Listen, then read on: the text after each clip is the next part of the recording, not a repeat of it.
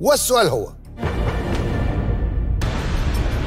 أديب شهير كان أول من تولى رئاسة جامعة الإسكندرية فمن هو؟ اتولى المنصب سنة 1942 لحد سنة 1945 مين بقى؟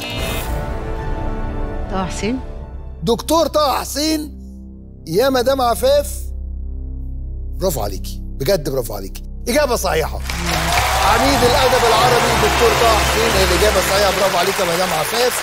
النتيجة 50 عيلة ناصر 20 عيلة الزيات.